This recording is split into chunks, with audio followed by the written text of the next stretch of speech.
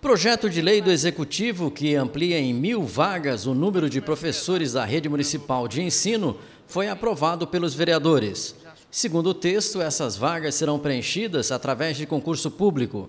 A Prefeitura informou que não haverá impacto financeiro adicional na folha vai diminuir bastante as pessoas que fazem concurso, senhor presidente, e fica anos esperando. Então, nós votamos no ano passado mil, mil, mil vagas e agora estamos votando mais mil vagas. Eu quero parabenizar o prefeito de entender que quando fizer o concurso tem que chamar os aprovados. O servidor concursado, ele é efetivo e é um tesouro que nós temos no serviço público. O concurso é feito para ser chamado. Então, a Câmara referenda isso com tranquilidade.